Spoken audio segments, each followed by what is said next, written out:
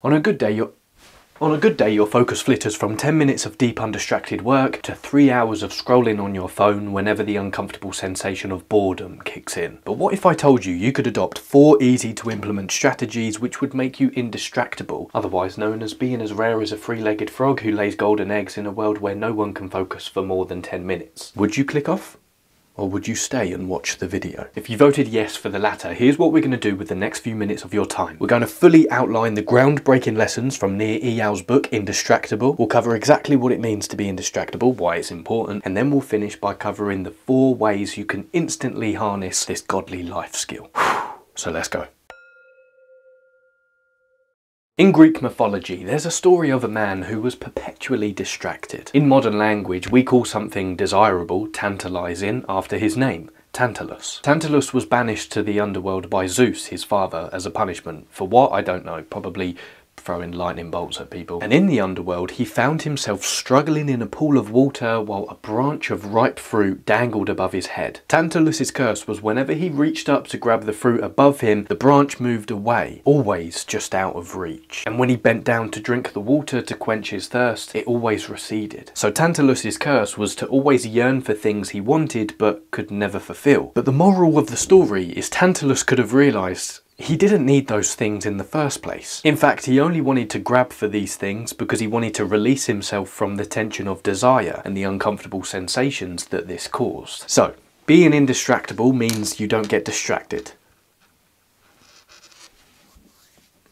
Surely there's more. In more detail, it means three things. It means you understand the nature of how distractions work and how to avoid them by putting safeguards in place and working with your psychology. It involves adopting radical responsibility towards the nature of how you get distracted, not blaming technology for the reason you get distracted. And lastly, it means you understand all human behavior is motivated to avoid discomfort, and at the root of our distractions are negative sensations we want to escape from. Point two is crucial, not blaming the technology, because blaming your smartphone for the reason why you get distracted is just like blaming a pedometer for making people climb too many stairs. But how can we define distraction? And what is its opposite? I'm going to assume you clicked on this video because you get distracted. Okay, well, let me ask you something. What are you getting distracted from? You may or may not have conjured up an answer to that question, but if you did, I would put money on it being vague. Don't want to at you here, but let me explain. For example, when most people say, I'm getting distracted, just ask them, okay, what are you getting distracted from? And they'll usually say something vague like, oh, I'm getting distracted from working or from studying. But Working or studying is about as broad as your nan's biscuit collection because they fail to signify the exact task that that person needs to do. But if they'd have said, I'm getting distracted from reading chapter one from my psychology textbook and taking notes in order to prepare for an exam, that would have been a lot better. So distractions are actions that move us away from what we really want and the opposite is traction. Now traction is actions that move us towards what we really want. Keep this in mind when we go through the rest of the video. But now for the juicy details.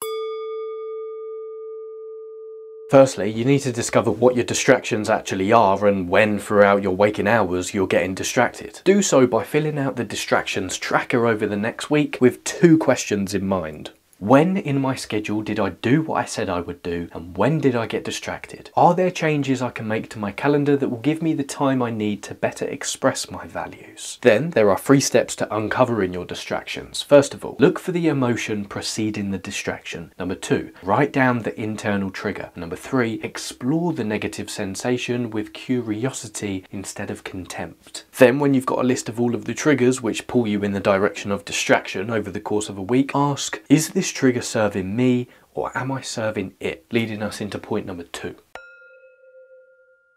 If you've spent any time within the YouTube productivity space, you've probably been recommended time blocking. And there's a reason it works. If you're unsure about what this is, time blocking is where you turn your values into time. You fill out an hour by hour schedule of how you'd like to spend your life. Time blocking is great because it's the only way to tell if or when you're getting distracted. For example, between midday and 2 p.m. every single day, I learn. That's my two hour window. And if I'm doing anything else during that time, like combing my hair then I know I'm getting distracted. To cite this analogy again, as we've mentioned it in previous videos, approach building your schedule like a curious scientist rather than an angry drill sergeant. Review the schedule regularly, but there is one rule. You must commit to it once you've set it. Otherwise it's useless because the integral point is doing what you said you would. Not only is it important to prove our integrity to other people and live in line with what we say we're going to do, it's also incredibly important for our mental health to prove it to ourselves as well. There's nothing worse than a liar,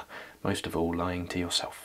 To figure out how to spend your time, go through your values and turn them into activities. For example, if you value discipline, playfulness and focus, you could spend one hour a day exercising, three hours a day doing deep work, and then every night between six and seven you go to a dance class to dance salsa. But time blocking only solves half the issue. Because if we don't know how to manage our uncomfortable triggers when they arise, we're done for. So let's get into the psychology.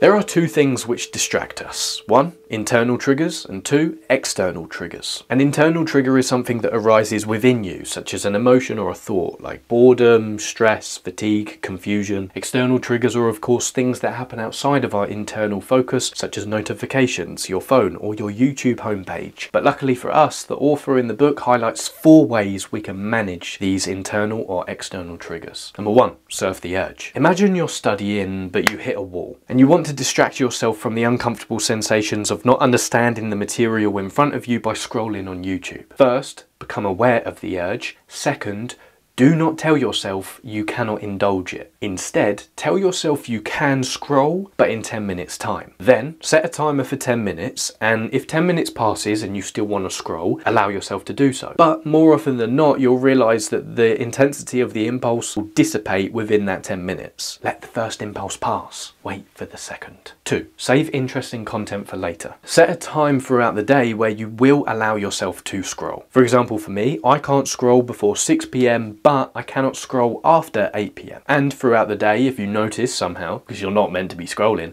that there's something interesting that you want to watch, save it into your watch later folder in YouTube or whatever Instagram or those apps offer you to do. 3. Managing group chats. If you're frequently distracted by the group chats you're in and you realise most of the messages in there are just pure waffle, apply the Napoleon principle. So Napoleon was notorious for not responding to non-urgent emails until a few weeks had passed, because he had realised that when he he gave the problems some time to breathe, most of the time they solved themselves. So allow your group chats some time to breathe and realise you don't always have to be so active in them. 4. Fulfill your needs. Lastly, if you're overusing technology instead of doing other things, it might mean you have some unfulfilled needs in your life. To explain, the professors Richard Ryan and Edward Deci are some of the most cited researchers when it comes to the research on what drives human behaviour. In the mid 1980s, they came up with their self-determination theory which proposes in the same way as the human body needs certain micronutrients and macronutrients in order to survive, so too our psyche needs three things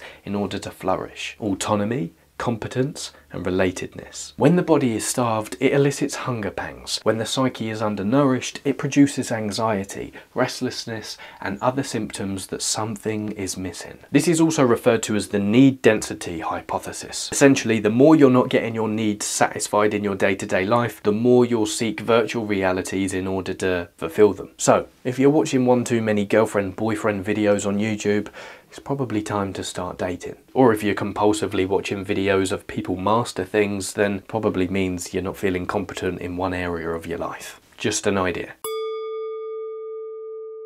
Finally, Use the psychological tool of reappraisal to reinterpret uncomfortable triggers. In my experience since reading this book, this has changed my life. Here's a brief explanation and how to. When a trigger arises, be it internal or external, we can either upregulate it or downregulate it. If we upregulate it by paying more attention to it or seeing it as desirable, its intensity will increase. But if we downregulate it by choosing to ignore it or just seeing it as something undesirable, then its intensity will decrease. So in order to focus and not get distracted, you must desire whatever it is you're currently doing over the multiplicity of triggers that could arise to distract you from what you're doing. For example, imagine you're reading a book but the material is difficult, so you feel the internal triggers of confusion and anxiety which lead to the external triggers of wanting to get your phone out and scroll social media. But you view scrolling as psychologically toxic and leading to a distracted mind. But you view reading as a way to become stronger, wiser, more articulate and wealthier. Suddenly, when you're weighing up whether to answer the external trigger or continue reading, it becomes quite clear what you should do. So when we imagine hard things as fun and desirable, novelty and new challenges appear. Personally, the more I reinterpret writing, which is an incredibly hard task to do sometimes, or reading hard material was not only fun but deeply contributing to my well-being and progress in life, the external triggers which call to distract me just disappear. So, in summary, being indistractable means you take responsibility for your distractions and you safeguard your time to prevent distractions. Distraction moves you away from a task whereas traction moves you towards it. To become indistractable, use a distraction tracker to note where and when you're currently getting distracted. Remember, with curiosity, not judgment. Schedule your time with time blocking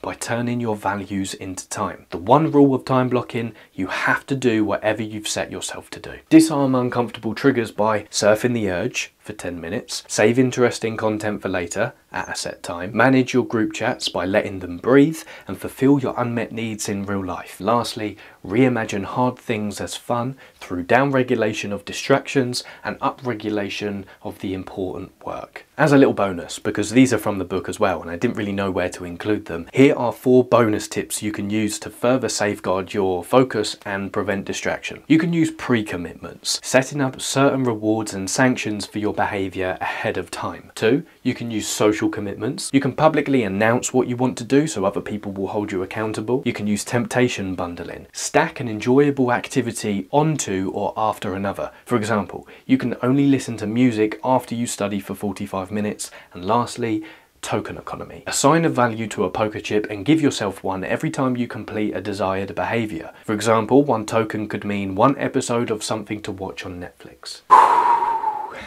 If you're not indistractable after that, uh, good luck. Yeah, don't know what to say really if that doesn't help.